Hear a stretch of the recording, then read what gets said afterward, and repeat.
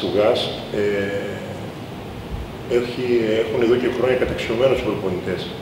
Ε, ο σύλλογος μας είναι ιστορικός στην ευρύτερη περιοχή εδώ πέρα.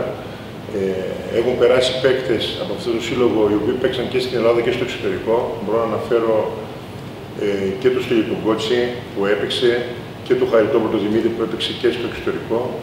Ε, ο ΓΑΣ ε, σκοπός του είναι να κάνει τη διαπαιδαγώγηση του, του αθλητή.